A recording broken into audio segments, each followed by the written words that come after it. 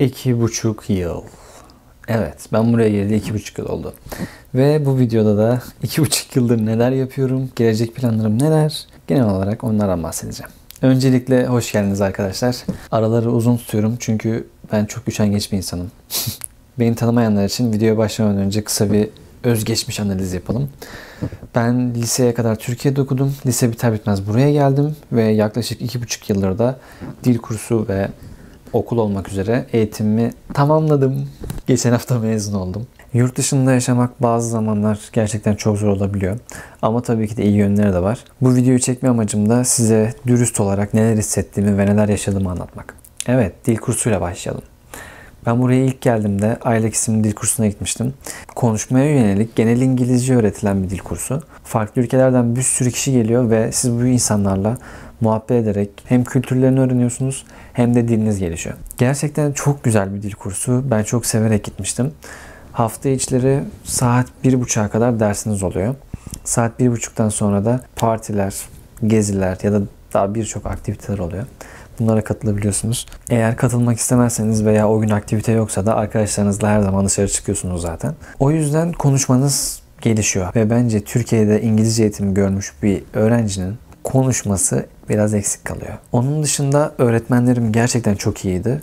Hala görüştüğüm öğretmenlerim var. Farklı ülkelerden arkadaşlarım var. Hala görüşüyorum, konuşuyoruz. Aylak'ta geçirdiğim 5 ay benim için çok güzel geçti. Ama 5 ayın sonunda burada kalmam biraz daha kesinleşince okul arayışlarına girdim. Aklımda işletme veya gastronomi bölümü vardı ama ben gastronomiyi seçerekten ona göre araştırmalarımı yoğunlaştırdım. Tabi buradaki sistemi bilmediğiniz için tek yapabildiğiniz şey Google'a gidip en iyi gastronomi okulları yazmak oluyor. Ben de George Brown College'ı buldum. Dil kursumu onların dil kursuna çevirdim. Buradaki üniversite sistemi biraz daha farklı. Yani burada bir üniversiteler var. Normal bildiğimiz 4 yıllık üniversiteler. Bir de college dediğimiz daha çok mesleki eğitim veren 2 yıllık veya 3 yıllık olan okullar var. Şimdi bu okulların birkaç farkı var. Benim için en önemli kriter tabii ki de paraydı.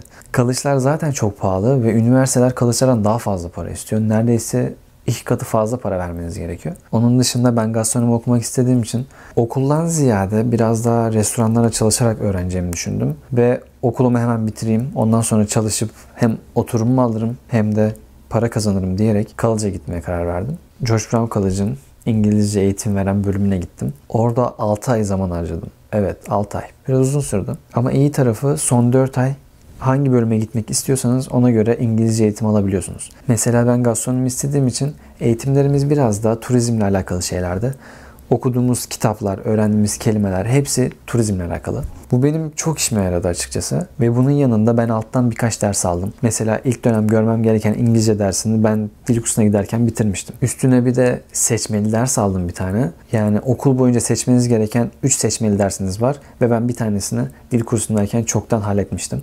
Bu tarz iyi yönleri oldu dil kursunun. İngilizce eğitimimi orada tamamladıktan sonra benden TOEFL veya IELTS notu istemediler. Çünkü zaten onların dil kursunu bitirmişim. Benim İngilizce seviyemi biliyorlar. O yüzden direkt gidebildim okula. Okula ilk başladığımda alışma sürecim biraz daha hızlı geçti. Çünkü dil kursuna gitmiştim zaten ve okulun neredeyse her şeyini biliyordum. Okulum 4 dönem sürdü. 4 dönemlik bir okul ve yaz döneminde tatil yok. Evet. 4 dönem direkt okuduğum için ben 1,5 yılda mezun oldum okuldan. Bu 4 dönemin bir dönemi de zaten staj. O yüzden staj döneminde saymaysa, saymazsak 3 dönemlik bir okul sürecim oldu. Tabii bu sıralarda okuyorsunuz ve paraya ihtiyacınız var. İlk bulduğum iş okula başlamadan önce dil kursuna giderken çalıştığım hamburgerciydi. Benim buradaki ilk işimde haftada yalnızca 2 gün toplamda 10 saat falan çalışıyordum ama gerçekten eğlenceli geçmişti. Ondan sonra okula başlayınca ilk dönem çalışmadım.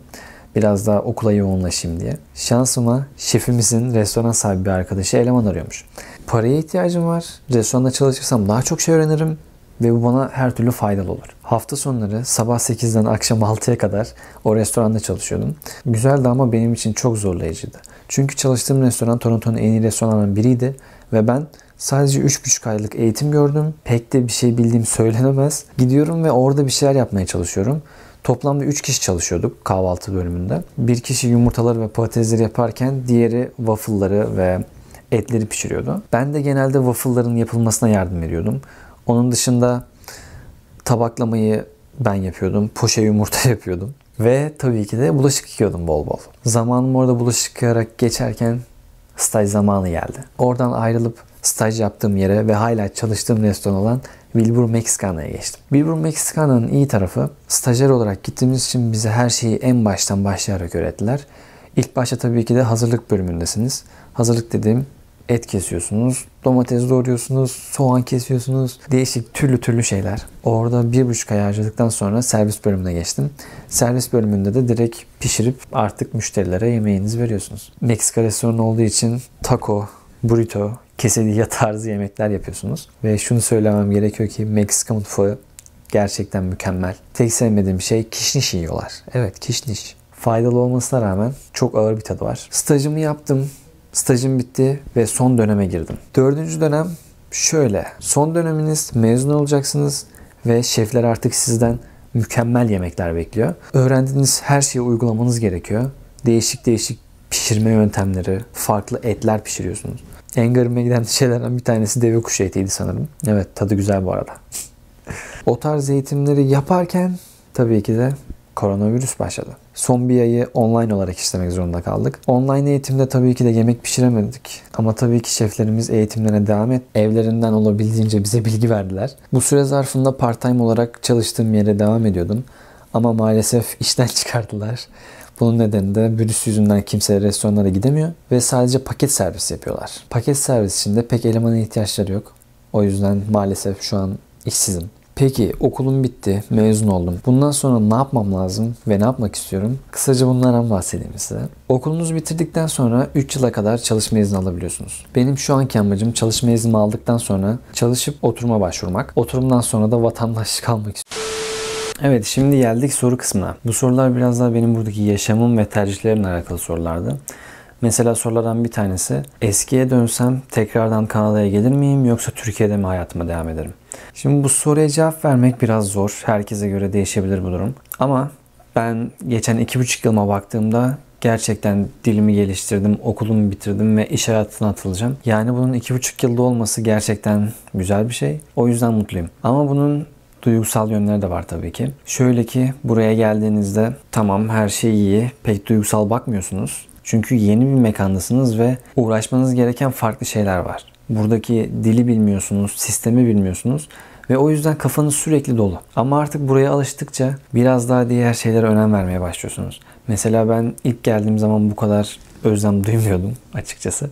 Ama şu an gerçekten ailem olsun, arkadaşlarım olsun, herkes çok özlüyorum. Bu durumda tabii biraz kötü etkileyebiliyor bazı zamanlar. İyi ki yurt dışına çıkmışım diyorum tabii ki. Yani bence yurt dışı neresi olursa olsun bir görülmesi gerekiyor. Süresi hiç önemli değil. İmkanınız varsa yani o parayı farklı şeyler harcamaktansa en azından bir İran'a, Gürcistan'a, Yunanistan'a nereye gidebiliyorsanız gitmenizi tavsiye ederim. Yurt dışına çıkmanın hiçbir zaman kötü bir yanı olmaz bence. Hatta giden parada yani gitti gözüyle bakmayın. Çünkü bu hayata bir kere geliyorsunuz. Yani olabildiğince farklı insanlarla tanışın. Olabildiğince fazla yer görün. Tabi artan döviz kuruna bakınca bu biraz da mümkün gözükmüyor ama yani bunun için uğraşın gerçekten. Eğer ki buraya gelmek istiyorsanız şunu aklınızda bulundurun. Geldiğiniz birkaç ay veya 1-2 yıl gerçekten sizi çok zorlayabilir. Çünkü dediğim gibi dil ve buradaki insanların hareketleri, buradaki sistem gerçekten çok farklı. Ya bu ilk gördüğünüz zorlukları değil ama ileride yaşayacağınız güzel anları düşünebilirsiniz. Ayrıyeten Toronto biraz pahalı bir şehir. Kiralar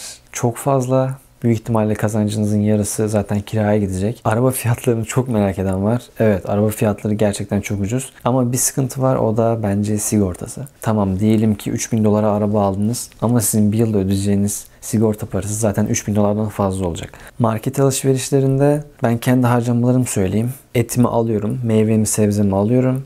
Onun dışında ekmek, süt, yumurta o tarz şeyler alıyorum ve haftalık harcamam benim 60 Kanada doları falan. Yani benim ortalama aylık market alışverişim 250 dolar falan tutuyor. Bu söylediğim fiyat tabii ki de şu zaman için geçerli. Bu aralar sürekli evde olduğum için çok harcıyorum. Çok markete gitmem gerekiyor. Normalde ben restoranda çalıştığım için her gittiğimde yemeğimi restorandan yiyorum. O yüzden alışverişim yarıya düşüyor. Dışarıdan yemeniz gereken vakitler oluyor. Dışarıda yemek biraz pahalı tutuyor. Ama yine de ucuza yemek yiyebilirsiniz. Mesela bir hamburgerciye gittiğinizde 10 dolarlık bir menü sizi tamamıyla doyurabilir. O yüzden yani kazandığınız paranın bir değeri var. Yani söyleyeceklerim bu kadar. Biraz yüzeysel bir video oldu. Ama detaylara inersem bu video yarım saat geçecekti. Umarım videoyu beğenmişsinizdir. Hep mutlu olun. Kendinize çok iyi bakın. Görüşmek üzere.